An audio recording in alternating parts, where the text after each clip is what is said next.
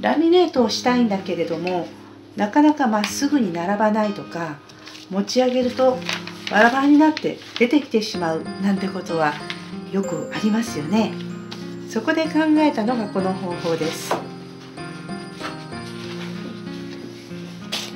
まずまっすぐに置くために方眼紙を下に敷きます。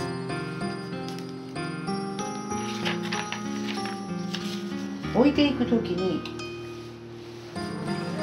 スティックのりを少しだけつけます。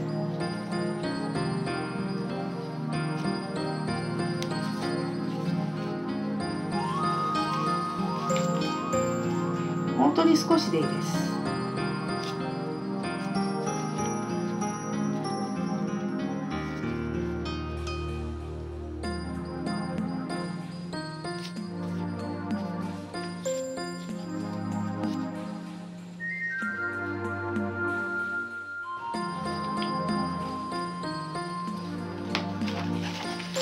こうして1箇所のりをつけるだけで動かなくなります。ラミネートフィルムをかけてラミネーターに通す時も落ちません。